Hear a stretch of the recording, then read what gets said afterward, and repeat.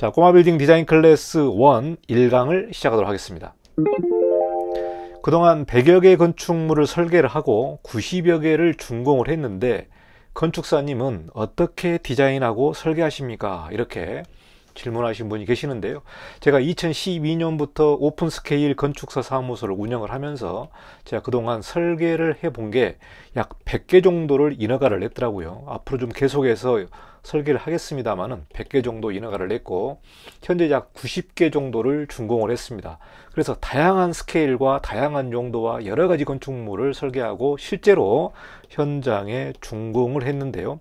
우리 건축사 사무소에서 일하는 건축사들에게 가장 중요한 부분이 뭐냐? 바로 준공입니다. 준공.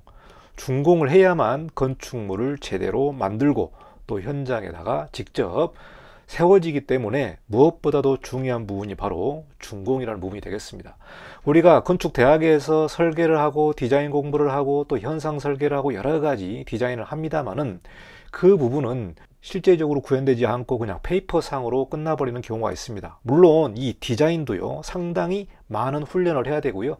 현상 설계를 했을 때 당선이 안 되더라도 이 디자인에 관련된 훈련은 한 거라고 보시면 될 것 같습니다. 공모에 떨어졌다고 해서 너무 낙심할 필요도 없고요. 이 부분은 하나의 훈련을 마쳤다. 이렇게 생각하시면 되고 이러한 모든 과정들이 이 실제로 건축사 사무소를 운영을 하면서 디자인을 하는데 정말 밑거름이 되고 자산이 된다고 저는 이렇게 확신합니다. 그래서 많은 분들이 궁금하실 내용이 건축사님은 어떻게 디자인합니까? 그리고 어떻게 설계를 합니까? 이렇게 물어볼 수 있을 것 같아요. 건축사마다 디자인을 접근하는 태도라든가 디자인을 풀어가는 방식들이 다 다르기 때문에 제가 여기서 여러분에게 강의하는 이 내용은 건축사 이관용만이 풀어내는 하나의 디자인 접근 방법, 디자인 해결, 디자인 결과물이다. 이렇게 보시면 될 것 같고요. 또 디자인을 실제적으로 건축물로 이렇게 지으면서 준공까지 가다 보면 많은 에피소드가 있고 또 장애물이 있고 또 풀어야 되는 그런 내용들이 있습니다. 그래서 그런 부분까지 제가 여러분과 같이 좀 공유를 하고 실제로 현업에서 일하고 있는 건축사가 어떻게 디자인하고 접근하는지 또 어떻게 설계를 하는지 이 부분에 대해서 전반적으로 실무적인 차원에서 디자인 클래스를 여러분에게 좀 제공해 보도록 하겠습니다. 여러분 제가 설계한 건축물이 궁금하신 분들은 오픈 스케일 건축가 사무소 openscale.net 여기에 방문하시면 제가 그동안 설계해서 준공한 건축물이 거기 올라와 있기 때문에 여러분 그 내용을 보시면은요 건축물 하나하나가 말 그대로 특색 있고 생명력 있는 그런 건축물이다. 이렇게 저는 자부를 합니다. 그래서 무언가 다르게 만들려고 노력을 하고 있기 때문에 그 부분을 여러분이 좀 살펴보시고요. 이 강의에서 정말 이관용 건축사가 어떻게 디자인하고 설계를 하는지 그 내용을 쭉 풀어보도록 하겠습니다. 자 그러면 본격적으로 시작을 하겠습니다 자, 먼저 디자인 전제 조건에 대해서 좀 설명해 보도록 하겠습니다. 아무래도 이 수업은 건축 대학에서 진행하는 건축 설계라든가 건축 스튜디오가 아니고 말 그대로 현업, 현업 건축사 사무소에서 디자인을 해서 허가를 내고 또 실제로 준공을 내는 현장 프로세스이기 때문에 이 부분에 대해서 중점적으로 강의를 한다. 이렇게 여러분이 이해하시고요. 뭐 철학적이고 인문학적이고 그런 내용은 많이 배제를 하고요 실질적이고 현장 중심적으로 이 디자인에 대해서 설명을 하도록 하겠습니다. 자, 건축사 사무소를 운영을 하면서 여러분이 프로젝트를 하나 땄을 때 이거를 설계부터 인허가 중공까지 내는데 디자인에 관련된 부분에 있어서의 전제 조건이 필수적으로 따라가야 되겠습니다. 전제 조건이 필수적이다. 이 부분은 뭡니까? 건축 현업에서 건축사라는 자격증을 가지고 실제적으로 법적인 책임을 지는 거죠. 법적인 책임을 지고 설계를 하는 거기 때문에 우리가 현장에서 설계하는 부분은 말 그대로 뭡니까? 법적인 테두리 내에서 적법하게 설계를 해야 되는 부분이 되겠습니다. 적법하게 설계를 해야 된다. 왜 적법해야 되죠? 적법하지 않으면 인허가청에서 허가가 나오지가 않죠. 허가가 나오지도 않고 나중에 준공에도 문제가 되기 때문에 현업에서 가장 중요한 부분은 뭐냐? 법령의 틀 안에서 디자인을 하고 설계를 하고 실시 설계를 하고 공사까지 해야 되는 부분이 아주 중요한 내용이 되겠습니다. 그래서 무엇보다도 디자인에 관련된 전제 조건은 첫 번째 법령의 틀 안에서 디자인을 할 수밖에 없고 그렇게 해야만 한다. 이렇게 좀 설명을 드리고요. 그래서 법령의 틀에서 우리가 디자인을 하는데 중점적으로 살펴봐야 되는 내용이 일조권 제한. 자, 일조권. 우리 꼬마 빌딩에서 가장 중요하게 영향을 미치는 부분이 바로 일조권이죠.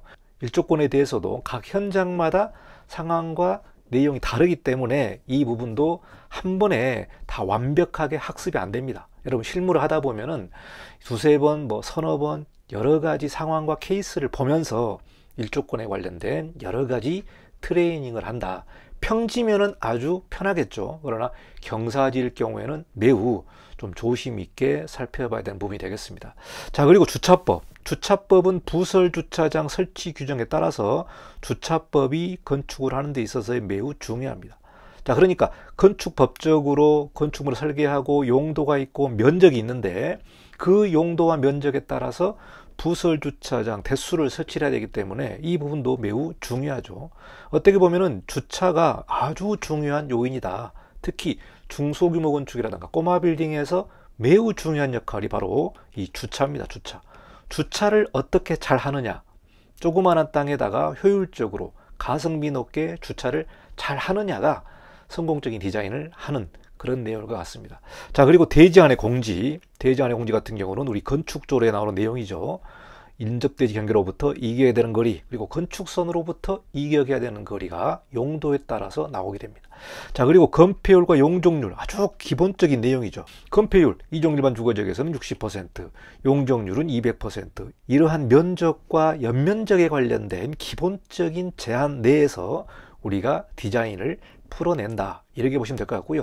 아마 이 내용을 보시면 학교에서 풀었던 내용과 전혀 다르다. 실무적으로 꼭 체크해야 되는 내용이다라고 여러분이 이해하시면 될 것 같습니다. 자, 그리고 충수 제한과 높이 제한. 자, 충수 제한 같은 경우는 건축물의 용도라든가 또 지역별 용도에 따라서 충수 제한이 있는 경우가 있죠. 뭐 가로구 옆을 제고 높이라든가 지구 단위 계획 구역이라든가 이런 내용들이 바로 충수 제한과 높이 제한에 관련된 내용이다. 자, 여기서 보시면 이제 지구 단위 계획 구역이 나오죠.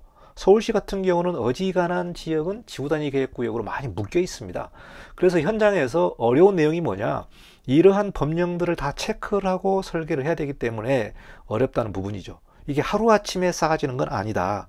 아무래도 경험과 실정과 여러 가지 인허가 또 준공, 시공 이런 부분까지 두루 경험을 해야만 실무적으로 익힐 수 있는 내용이다라고 보시면 될 것 같아요.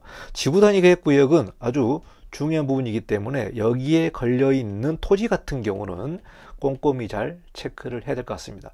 자, 그 외에 장애인법, 요즘 뭐 현장에서 아주 어려운 장애인법, 그리고 소방법까지 우리가 살펴봐야 되는 부분이죠. 그리고 다중이용업소법, 이 부분은 이제 휴게 음식점이라든가 일반 음식점이라든가 여러 가지 건축물 용도가 다중 이용 업소에 걸린다면은 이 부분도 디자인에 전적으로 영향을 미치게 되는 거죠. 궁극적으로 아름다운 건축물, 멋있는 디자인을 만들기 위해서는 가장 먼저 준수해야 되고 체크해야 될 부분이 바로 법령의 틀 안에서 디자인을 해야 된다는 부분이 되겠습니다. 저도 대형 건축사 사무소에서 디자이너로 대략 한 3년 동안 대형 현상 설계를 했는데요. 그때 당시는 프로젝트 매니저가 이러한 법적인 내용을 다 체크를 해서 저한테 주면은 그 법적인 내에서 디자인을 풀어내는 거죠.